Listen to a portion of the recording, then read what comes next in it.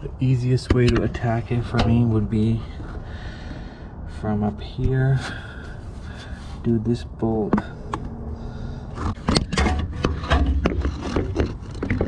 This bolt right there, and then there's a bolt underneath it, right there.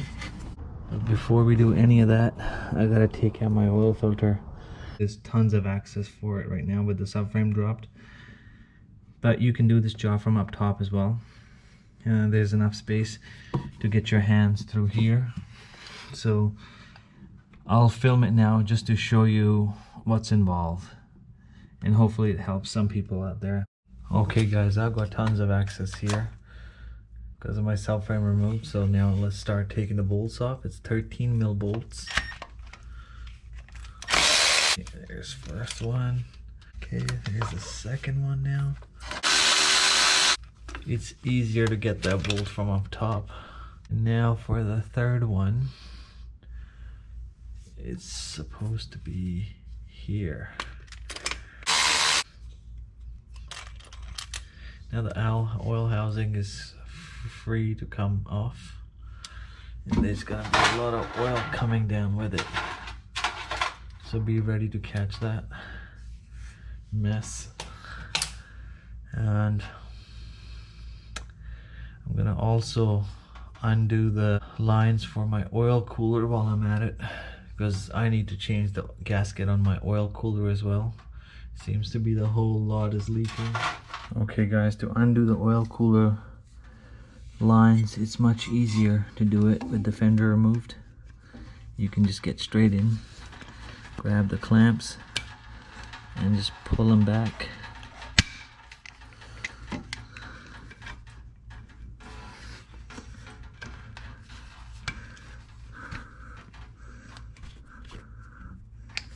all right off and then there's the second one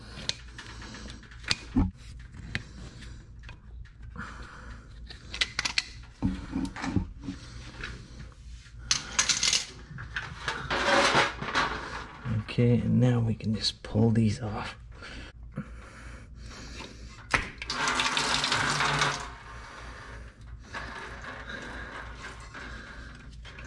Okay, one line's off.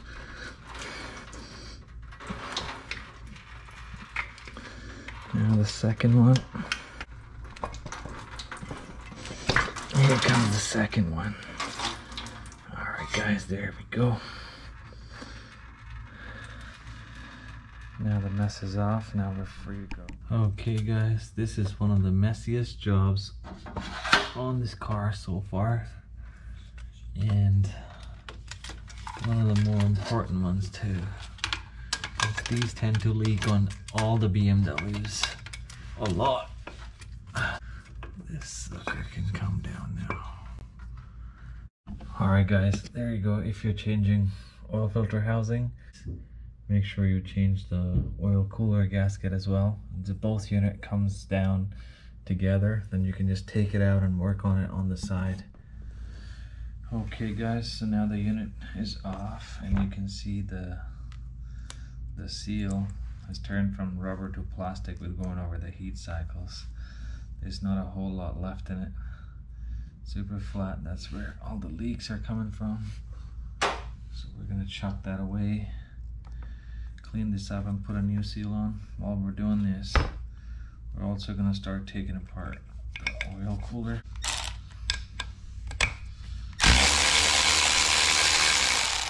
These are T30 bolts.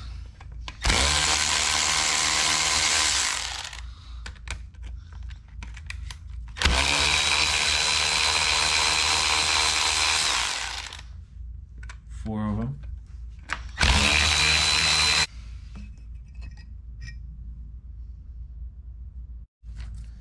Okay, so now that the surface is all clean, we're just gonna put the new seal on it, gasket. So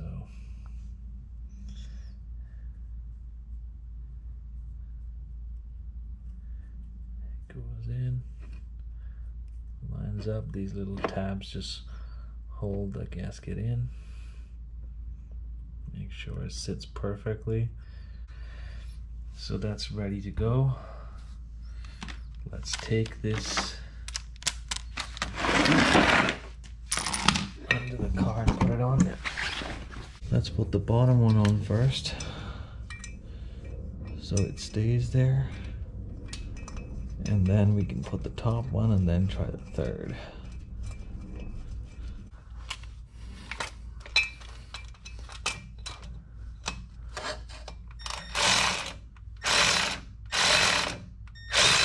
Now let's try to line up the third one slowly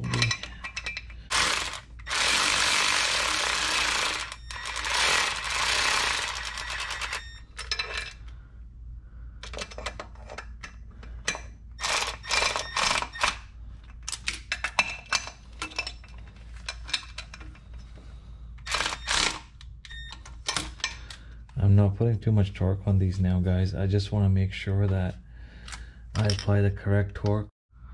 Alright guys, so the torque specs for these bolts is 18 foot-pounds or 25 newton meters, which is not a whole lot. So tighten them to their specs.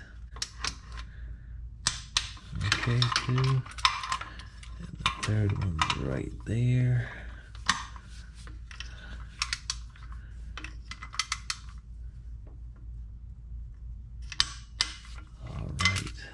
Go. Oil filter housings on. And we'll do the oil cooler a bit later. Okay guys, so that's a 22 mil spanner. Alright, so now the old hoses are off. Oh. And we're keeping one on just to remember which one goes where. So first we're gonna do the high pressure one. And this is a new part that I bought. Take off all these bits. Put new washers and hose clamps on. So put that in there. Now actually let's put the banjo banjo bolt and crush washer. So it needs two crush washers back in the front.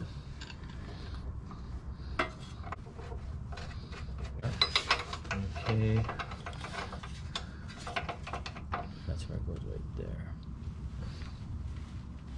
One's on. Now we can try putting the hose clamp on top. Alright guys, so now the return line is on there already, a new one. So we're just gonna put a new clamp at the bottom. Put the top one on as well.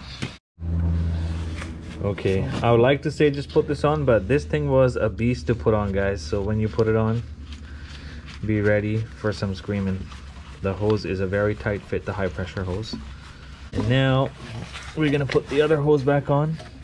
I try to connect the return hose first, and it didn't really go very well because they're slightly weird offset. So now both the hoses are on. We can clamp it and then put the fluid in the system. And dropping the subframe is the easiest way to replace your power steering hoses, guys. Once you tighten these hose clamps, you're good to go.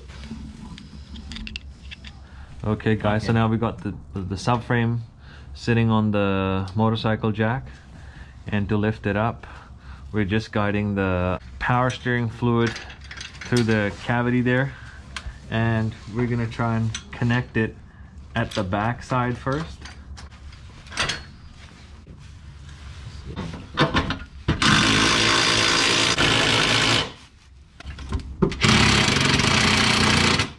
Okay one bolt in.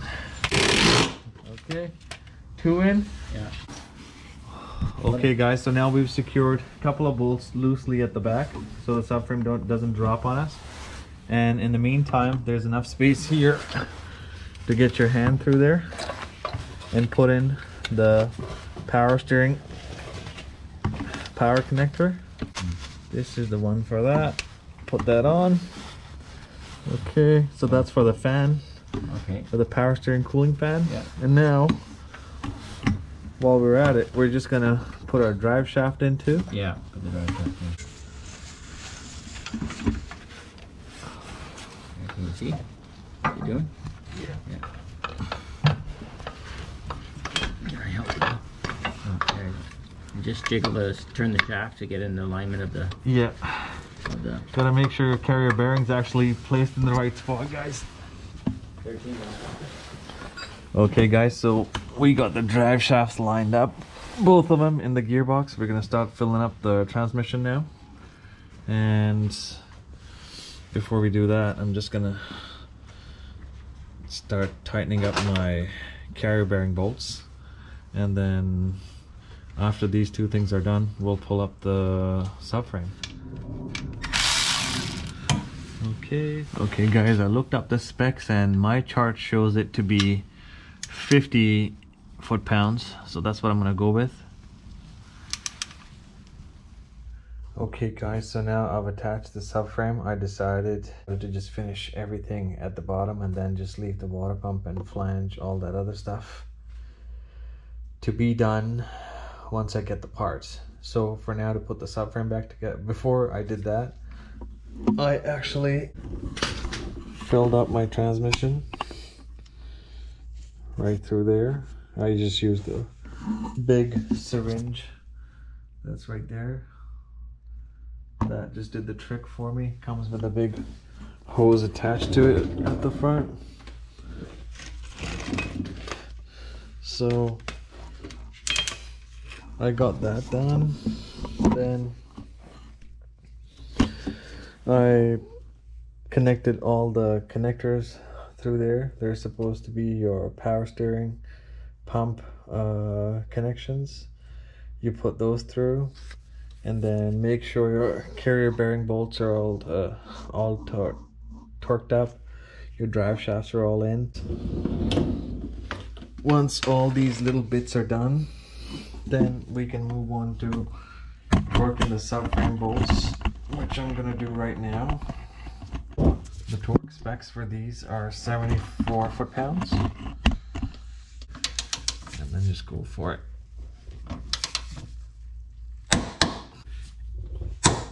Okay. I just decided to do the further in ones first, guys, and then go towards the front.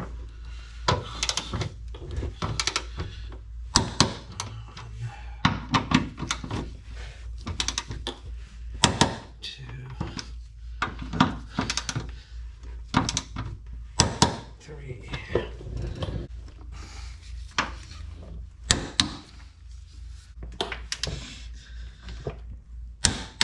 Okay. Oh, this thing is not even filming the correct spot. Hang on a second. This is the bolt that I just torqued now, guys. Now we move on to those ones under the frame there. And for that, you're gonna need a super long extension to get to that. I've got roughly about a foot and a half long extension. Okay, there we go.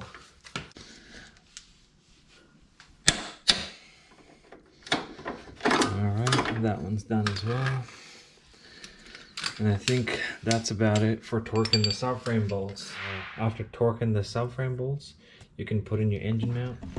Alright guys, so now my washers have finally showed up, or the O-rings. So now we're gonna put the flange and the water pump, the supercharger all back together. This is original mini part that I ordered.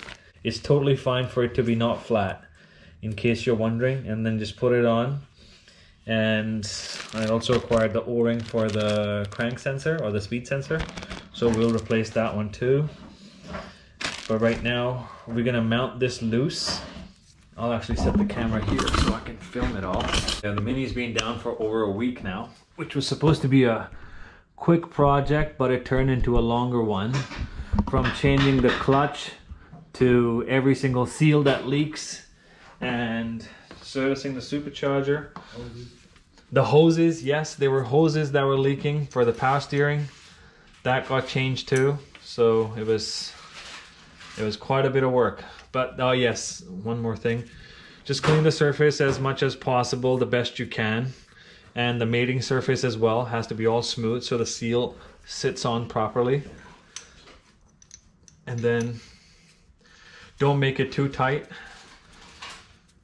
because if you tighten it up now, you're gonna have problems lining up the water pump. See, it still moves. We'll be able to use longer extensions and tighten it up in a minute. I changed the water pump as well to a new one. So there's no potential problems in the future. All right, guys, so put some silicone grease on this seal here because this one sometimes also gets cut. All right, so now it's time to line up the beast.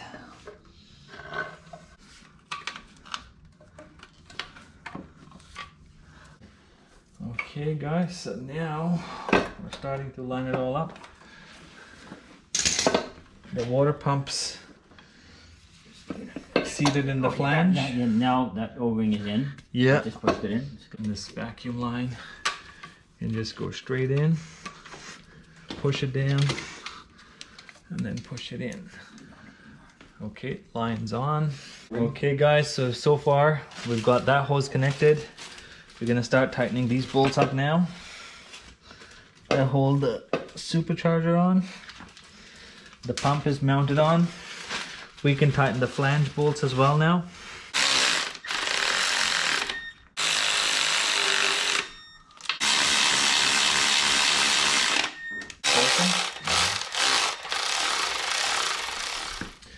Okay guys, so now we're gonna torque the supercharger bolts. And the small ones, M8s are 18 foot-pounds and the M10s are 33 foot-pounds.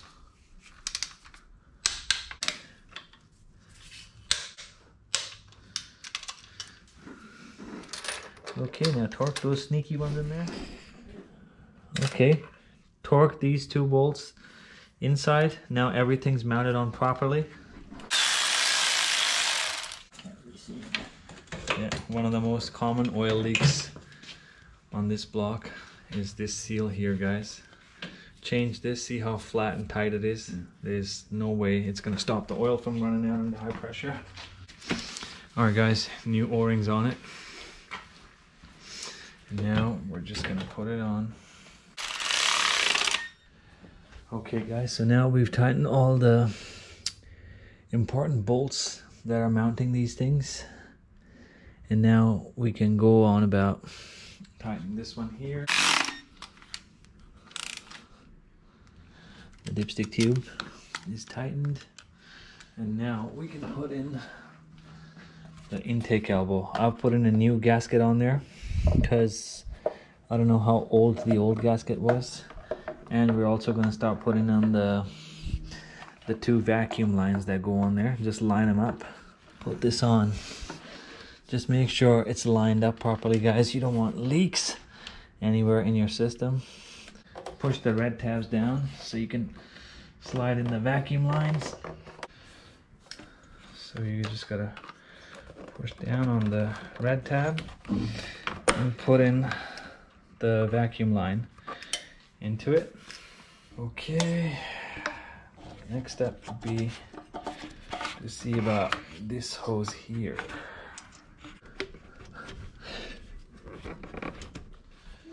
Okay, now we're just trying to figure out which hoses go where. So this one goes down to the bottom of the coolant, the sorry, the radiator. This one comes from thermostat to the top. All right, guys, so now we've cleaned that bit up for the oil cooler. And we're gonna try and get it all set from here in this gap by the wheel well. Gotta double check to see the seals are sitting properly there.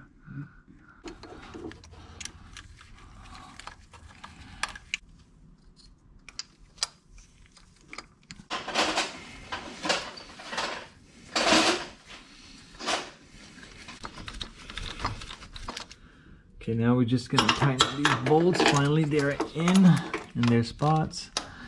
Tighten them. crisscross pattern. Okay, now it's time to connect the hoses.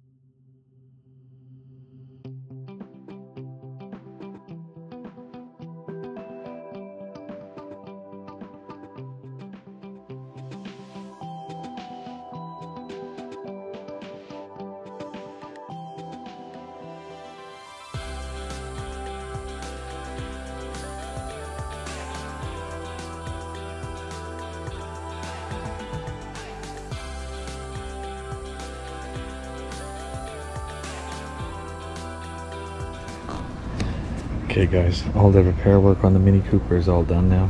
The car's been put back together. I've upgraded a few things on it. I got the Yankee lightweight racing rims. Got them for cheap. And this is what the car looks like and how it sits right now. After all that work.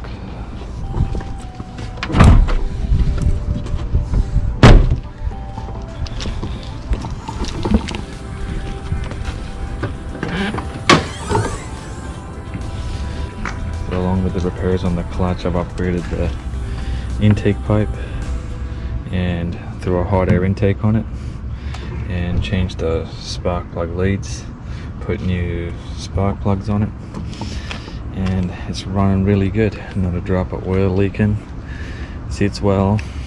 Next up is gonna be that little thing there, maybe a 15% pulley. I want it to be reliable. I also fixed the air conditioning on it, wasn't working. At first I thought it's a short compressor, but turned out to be just a faulty clutch.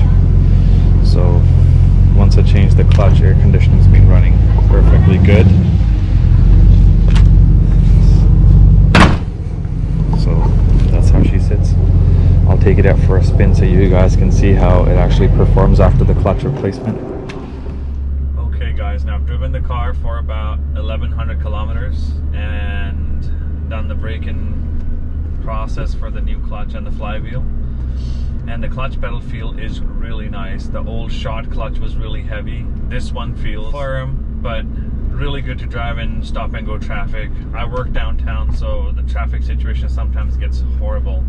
And this clutch pedal feel is not hard on your legs. Like if you're stuck in stop and go traffic for 30 minutes, it's easy to deal with. I didn't have to bleed the clutch afterwards either. I just had to drive it for a day and then it firmed up. Initially, it was uh, a little bit on the soft side, but as I put more and more Ks on it, it just got perfect.